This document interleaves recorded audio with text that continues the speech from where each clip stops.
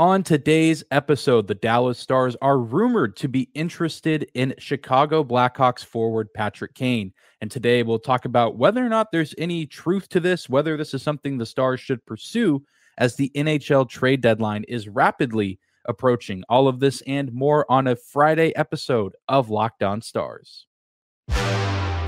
Your Locked On Stars, your daily podcast on the Dallas Stars part of the Locked On Podcast Network. Your team every day.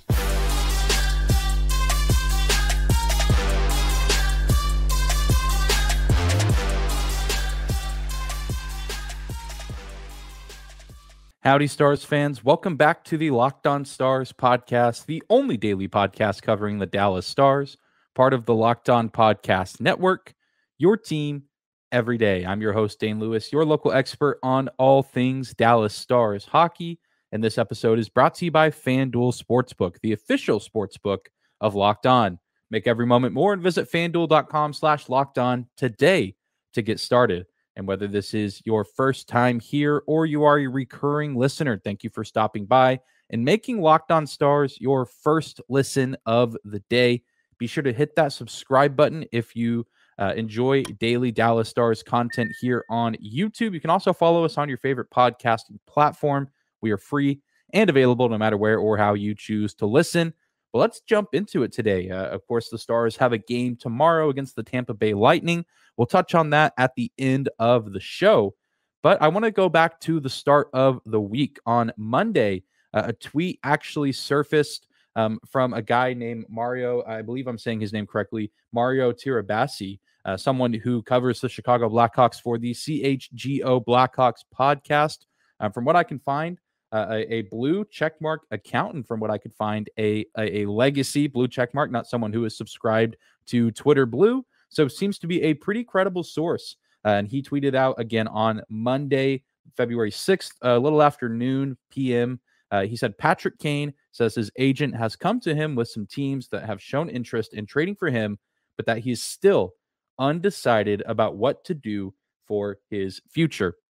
And I feel like this has been pretty common knowledge for for quite some time now. Uh, many will, you know, have known that the Blackhawks obviously in the middle of a pretty big rebuild, and so the futures of both Patrick Kane and Blackhawks captain Jonathan Toews have been in question for a while, with both of them coming to the end of their long and expensive contracts that they signed around eight years ago. But the interesting thing is not necessarily that tweet uh, that, you know, Kane is undecided what he wants to do with his future, that there's teams out there interested. The interesting part of all of this is that there was a quote tweet from David Pagnotta, who is an NHL analyst for uh, the NHL network and, and, a very notable face here in, in NHL media. Very simple quote t- tweet where he says the New York Rangers and Dallas among them, among them being in reference to uh, the, the teams that are potentially interested in the services of Patrick Kane.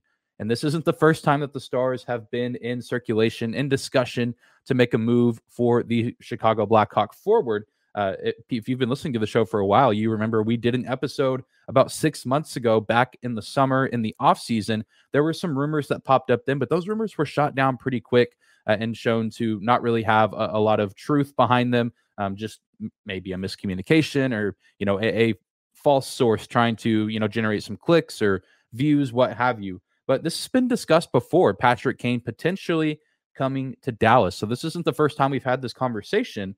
But unlike last time, I haven't really seen these rumors be shot down uh, until you know recently, with at least with the Rangers side. The the New York Rangers, of course, have been kind of in this rumor uh, for a while as well. A team that has a very solid base, but of course, looking to add a few pieces before or at the NHL trade deadline in order to put themselves over the edge. But the Rangers have now, it, seems, made their move, or at least their biggest move uh, here before the deadline in just a few weeks. New York actually picked up a, a new forward on Thursday morning, early afternoon. They strike a deal with the St. Louis Blues to get Vladimir Tarasenko. Uh, and they it seems to be a pretty good deal for the Rangers.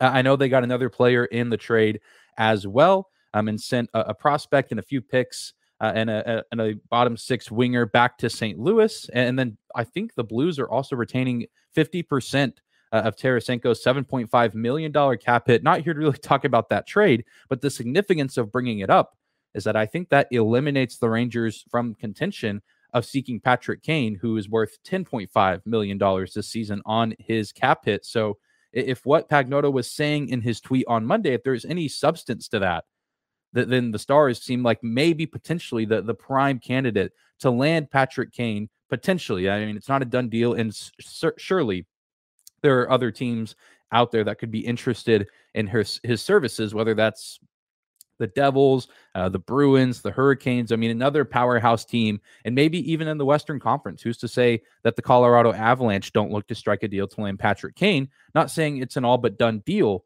but it does make things incredibly interesting that it, it was kind of told that the Rangers and the Stars were two of the biggest teams potentially interested uh, in Kane and his ability and his you know play style. But now the Rangers seem to have taken themselves out of the hunt. And so you know, what does this mean for Patrick Kane? Obviously, he's still undecided with where he wants to go. I think that that makes a ton of sense. He would need to approve pretty much any trade that is proposed because he has a no move clause. And so, really, wherever he ends up, it's going to be a place that he wants to be. And I imagine if he does look to move on, a place that you know he he thinks that he can potentially win another title to add to his already impressive trophy case. But it's a very complicated situation for him, I'm sure. He's 34 years old and having a little bit of a down season, uh, which I mean, it's a down season overall, but he's tied for first on the Chicago Blackhawks in points, nine goals, and 26 assists. Certainly not the numbers that we've grown accustomed to seeing Patrick Kane put up. In 46 games played this season, there's a little bit of speculation with the down numbers that there's some sort of nagging lower body injury. and I've heard multiple reports uh, on 32 Thoughts, the podcast with Elliotte Friedman, that you know that there's you know him playing through some sort of injury and his teammates acknowledging that saying that some of them might not even be playing if they were going through what he's gone through. So we don't really know the details and I or I can't really find any specific oh this is what's wrong or this is for sure an injury that he's you know dealing with and powering through. But I mean there probably has to be some sort of truth to that with the numbers that he's putting up because even with the Blackhawks being as bad as they've been over the past few years Patrick Kane has still been a very, very good player, including last season when the Blackhawks were equally as bad as they are during this 22 23 campaign. Patrick Kane still was putting up really, really high numbers, elite numbers 92 points, 26 goals. I mean, nearly a 100 point score on one of the worst teams in the NHL. And, I think any team would be interested in the services of a player of that caliber. And I'm sure that includes the Dallas Stars, but we'll talk in a second uh, about what that might look like for them and if that's something they should do. But there's the lower body injury. There's an article from Greg Wyshynski on ESPN saying that it's something that Patrick Kane himself has really said that he's not too overly concerned about. That I mean, maybe he's just playing poorly because the Blackhawks don't have the support around him. I guess that that's something that we could speculate on, but I'm sure that there's also some difficulty on his end of the idea of potentially leaving Chicago, which is the only city he's really known as home since joining the NHL when he was the first overall pick back in 2007. And I know he's been having some conversations, I'm sure, with his teammates, with his family. And, the ESPN article from Wyshynski even mentioned a conversation uh, with Duncan Keith, who, you know, spent pretty much the entirety of his career in Chicago and then for one final season played in Edmonton and talked about how he enjoyed it. But there, you know, were some things he had to move past and you know, things that he just didn't really know what to expect in playing in a different market in a different country. Of course, if Kane comes to Dallas, it's not a different country, but it's just going to be a, change of scenery for him in a pretty big way, moving from a team that he's been around for several, several years. I mean, almost 20 years up to this point, just a few years shy, and then going to a completely different part of the country. So I'm sure there's a lot to consider on his end. But it's very interesting that we haven't really seen much traction since these tweets on Monday pointing that the Stars are going to make this move. But we also really haven't seen any holes poked in the theories, at least that I've seen. Uh, and I'm very curious to see what becomes of Patrick Kane if he decides that he wants to be traded somewhere Will he actually go to Dallas or will he look to join a team maybe like Colorado or Boston, teams that in his eyes might be a more complete unit to join? Because he is, again, going to have say in where he ends up if he decides to move on from the Blackhawks because of that no move clause. Well, we're going to take a quick break, and when we come back, we'll continue to talk about Patrick Kane and whether or not Dallas would be a good fit for him or if this is even a move that the Stars should make. More on that right after this. Today's episode of Locked On Stars is brought to you by our friends at FanDuel. We're really excited about our new sports betting partner for Locked On because they're the number one sports book in America. And if you're new to FanDuel, that's even better because they have so many great features that make betting on sports both fun and easy. So download FanDuel now so you can bet on Super Bowl 57 with a no sweat first bet, and you'll get up to $3,000 back in bonus bets if your first bet doesn't win. And FanDuel lets you bet on everything from the money line to point spreads to who will score a first touchdown in the game between the Chiefs and the Eagles this Sunday night. The FanDuel Sportsbook app is safe, secure, and super easy to use. And best of all, you can get paid your winnings instantly. So join FanDuel today at fanduel.com slash locked on to claim your no sweat first bet on Super Bowl 57. That's fanduel.com slash locked on. Make every moment more with FanDuel, the official sportsbook partner of the NFL. Thank you again for making Locked On Stars your first listen of the day. Be sure to subscribe to the show on YouTube or wherever you get your podcast at. Of course, we are free and available no matter where or how you choose to listen. Thank you guys again for tuning in this week. We're continuing to talk about Patrick Kane. Some rumors circulating that the Dallas Stars could be interested in him at the trade deadline. And of course, that this is something that I'm sure is already being discussed amongst Stars fans. And it's a discussion that I think is worth having because just like any trade that could be made, there's pros and there's cons to adding any type of player to your roster. And there's a few in each category for Patrick Kane and the case to be made of him coming and be, you know, joining this Dallas Stars team. And to start off with one of the pros, and it's a pretty simple one. It's very basic, but it doesn't take away from the truth of it. He, he's Patrick Kane. I mean, this is one of the best players in recent NHL history. He is a three time Stanley Cup champion, a Conn Smythe Trophy winner, a Hart Trophy winner, an Art Ross Trophy winner. I mean, this guy, since being drafted first overall in 2007, I feel like has delivered on, every expectation placed upon him, uh, at least on the ice. I mean, he was responsible for the dynasty that was the Chicago Blackhawks kind of in the late 2000s and the early 2010s they were so dominant due in large part to the player that he was, which, of course, now being 34 years old, not quite as electric or as speedy or explosive as a player. But again, we saw him score 92 points last season at a, at 33 years old, and I think that there could still be something left in the tank, as we see with older players across the league, like Joe Pavelski, and maybe a change of scenery is what he needs. And again, we don't really know the severity of whatever injury may be nagging him or bothering him, but he's Patrick Kane. And he's an incredible player, one of the better players of, of my generation of, of players that I watched dominate this game for so long. And so, of course, if you're getting the guy that scored 92 points last season, if you're getting the guy who has won the MVP, who's won the Art Ross Trophy, been one of the best playoff performers in recent memory, I mean, absolutely. It sounds like a match made in heaven, given you know the Stars' needs on their roster right now. Can you imagine a, a top six of Jason Robertson, Roope Hintz, Joe Pavelski, Mason Marchment, Tyler Seguin, and Patrick Kane? I, I mean, that is a deadly, deadly group of six right there. And then, of course, I think the rest of the roster works really well underneath them. And then I think you have that depth piece that can come in and provide scoring. But then to talk about one of the cons, he's Patrick Kane, but a player of his, you know, prestige, his pedigree comes at a pretty heavy price. When we talked about it, we we touched on it a second ago.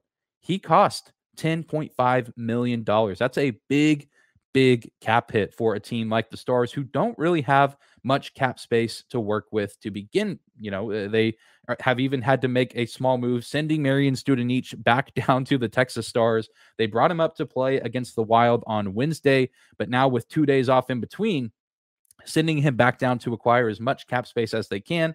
Not going to be a ton, but just having to do these small paperwork moves to get as much money as possible here at the deadline and they'll maybe end up with around $2 million or close to it at the deadline, is my guess. And so they, of course, as of right now, don't have the, the, fundings for a Patrick Kane type player. But of course, you would have to factor in that the Blackhawks are retaining some sort uh, you know, some percentage of that cap hit. I don't know what that looks like with it being 10.5 million. Uh, I think the Blues and the Rangers deal was great for the Rangers because St. Louis is holding on to 50% of Tarasenko's cap hit. I don't know if the Stars could talk the Blackhawks into holding on to 50% of the 10.5 million. Be really nice, but I just don't know if it's possible. And, and I mean, it's just a very tricky hill to navigate. He cost a ton of money. Patrick Kane, $10.5 million cap hit. But then another pro, and this is actually uh, really, I only have two pros and three cons to go with Patrick Kane potentially joining this team. another pro is the veteran experience. And if you've been listening to this show for a while, you know how important that is. Uh, from my perspective of watching this team and specifically the Dallas Stars, veteran experience and expertise goes a long way, not just in the regular season, but in the playoffs. And adding a guy like Kane to that locker room, I think would do wonders for this team that's already in a pretty good place in terms of veteran leadership with Joe Pavelski, Jamie Benn, Tyler Seguin, uh, just to name a few of the vets on the team. And, Patrick Kane has not only been to the playoffs a handful of times, he's had some pretty good success. I just ran through a lot of his accolades earlier. I mean, he's won three Stanley Cup championships with the Chicago Blackhawks. And so he's a guy who would come in and I think have pretty good chemistry in that locker room. I think he could come in and almost serve in that Pavelski role of being a leader, but knowing that he doesn't have to be the guy because there's already established leaders in that dressing room.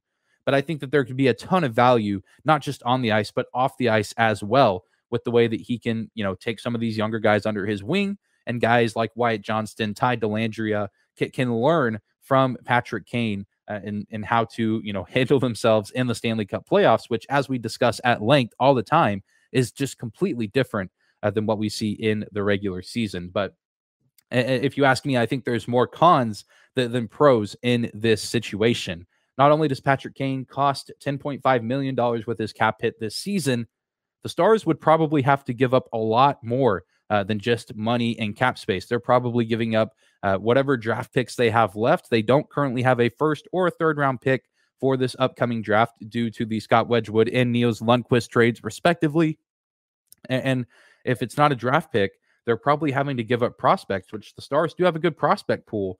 But you have to imagine that the team, a team like the Chicago Blackhawks, would be looking for the best names possible. And I'm talking guys like Logan Stankoven. I mean, that's kind of where the bar is set, or Mavrik Bourque, or, maybe even, you know, other AHL players. The Blackhawks are looking for these young players that can provide value to their team and can potentially be slotted into play alongside Connor Bedard, who could find himself as the newest member of the Chicago Blackhawks this summer, depending on where Chicago lands in the lottery.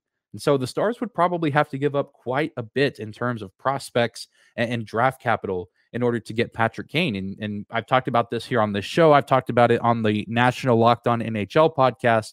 If you're the Stars and if you're a Stars fan, you have to ask yourself the question is it worth selling the farm? Is it worth selling these pieces for the return of a player like Kane to potentially win a championship. Now, I think Patrick Kane's a good player. I think there could be some benefits, but in my eyes, I just don't think it's worth it because you're still not guaranteed to win the cup because other teams are going out and making similar moves. We've seen both teams in New York go out and get better so far this deadline. We're probably going to see the Bruins and the Hurricanes add pieces, uh, the, the Avalanche, the Winnipeg Jets, the Minnesota Wild, uh, and other teams out west, Seattle, Vegas, they might be looking to add pieces. I mean, everyone that's in contention right now is going to be looking to add pieces at the deadline. And while Patrick Kane could be a nice ad for the Stars, is it worth it for potentially one season where you have a chance to win if the future is then put in jeopardy? And I think that mixes pretty well with the third con I have. Is Patrick Kane healthy?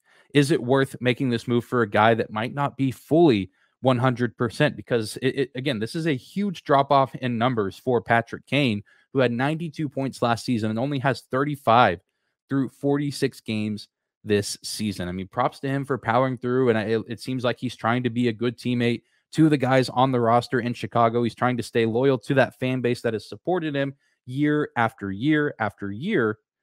But but is he fully healthy? Is he fully at the level that he should be in order to be playing at a high level and contributing to a team's success. And, obviously, I don't know the the ins and outs of that. I feel like not many people probably do. but I feel like that's a huge risk that you're putting out there for, you know, you, again, you you might be selling big prospects, you might be selling draft capital, or even guys on the current NHL roster. And is it worth it for a guy that might not be 100%? In my eyes, no. But I'd be curious to hear your thoughts. Let me know in the comment section down below on YouTube your thoughts on Patrick Kane and if you would want to see him sent to Dallas before or at the trade deadline. We're going to take one more quick break. And when we come back, we'll shift our attention from Patrick Kane to this weekend's matchup. The Tampa Bay Lightning are coming into town for a date with the Stars, and we'll get you set for that game right here, right after this. And we're closing out today's episode of Locked On Stars. Looking ahead to this weekend's matchup, the Stars looking to close out this week 3 0 with the win Saturday afternoon over the Tampa Bay Lightning, a rematch of the 2020 Stanley Cup Finals. And Tampa has had a pretty busy week themselves, a pretty stacked week with a back to back on Monday and Tuesday. We saw them lose Monday in just a beatdown, a seven to one loss at Florida against their rivals, the Panthers. And then on Tuesday night, they return home where they lose four to three in overtime to the San Jose Sharks. And they're actually they they will have played a third game this week against the Colorado Avalanche on Thursday night. I'm recording this before that game, but a rematch of the 22 Stanley Cup Finals then, uh, and then they will get on a plane and head to Dallas afterwards. And so a busy week for the Tampa Bay Lightning, and not necessarily the stiffest competition but they're they kind of find themselves at a different side of the spectrum as the Stars coming back from the All Star break, where the Star the, the Tampa Bay Lightning I think had won three in a row before the All Star break, and they've come out and they have yet to record a win since coming back from the pause. Whereas the Stars lost three overtime games in a row and have now come out and won two straight games. But Dallas Stars fans and that team know good and well that the Lightning are never a easy outing. They're never a team that you're going to see on the schedule and, chalk them up as a win or, or an easy win, even if you are playing them at home, like the Stars are going to be doing tomorrow. And this is a weird season for the Tampa Bay Lightning in my eyes because they feel like a, kind of an under the radar team. They're, they're getting talked about every now and then, but they don't appear as dominant as they've been in the past. But they're still a very solid team. And I think a big reason why they might not be getting that recognition that we've grown used to them getting is because of the division they play in. The Atlantic Division is an absolute slaughterhouse with Toronto, Boston, and then even the the quote unquote lower teams in that division are, are very good. Buffalo, Florida seems to be picking themselves up a little bit. Uh, you know, and even Ottawa and Montreal can surprise you uh, on a you know an off night or, or you know take advantage of the mistake of some mistakes that you potentially make. So it's a weird year, but Tampa's still a very good team despite being third in the Atlantic Division. They would actually be second in the in the Central Division right now, not too far behind the Dallas Stars. So it's really just you know uh, one of those years like last year. I think they were kind of in the same boat. I think they finished third. They got that you know first round playoff matchup with Toronto. And people thought, oh, this is finally the year that Toronto's going to win. Toronto seems to be better than Tampa Bay. And while at times it may have appeared that way, Tampa came out and showed they don't need to get that first seed in the division or in their conference in order to go on a deep playoff run. And while they did lose some pieces over the offseason, Ondrej Palat, Ryan McDonagh, just to name a couple, they still have a lot of those key core pieces there. Andrei Vasilevskiy, Steven Stamkos, Nikita Kucherov, Brayden Point. I mean, this team can burn you in a lot of different ways. And so the Stars are going to have to be ready to welcome this team into the American Airlines Center that is probably going to be playing with a little bit of a chip on their shoulders. They, again, may have beaten the Colorado Avalanche on Thursday night. I know the Avs are dealing with some injuries right now, and this is a home game for Tampa, which is probably to their advantage in a matchup like this.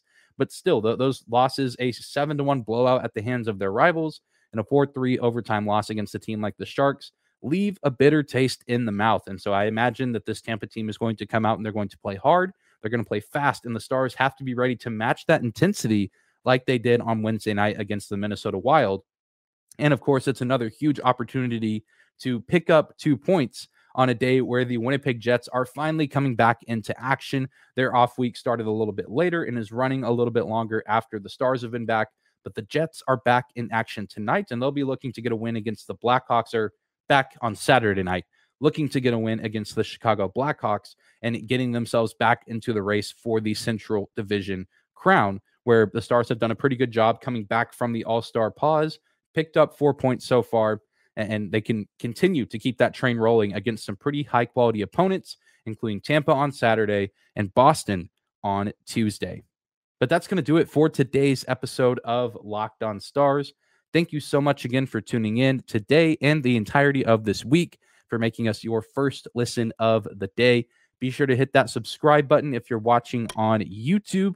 Hit the follow button on your favorite podcasting platform. Uh, and you can also follow us on social media at Locked On Stars on both Instagram and Twitter. Uh, and you can also find and follow me on Twitter at Dane double underscore Lewis. Be sure to tune in back here on Monday. Uh, what I'll probably do is record an episode Saturday sometime early on Monday, recapping Saturday's game against the Lightning. And then I'll have that ready to post, probably with some post game audio from players and coaches, things of that nature, the things that you guys have come to expect after a lot of home games this season. But I hope you guys have a great Friday. Enjoy your weekend. Enjoy the Super Bowl on Sunday. And we'll see you back here on Monday.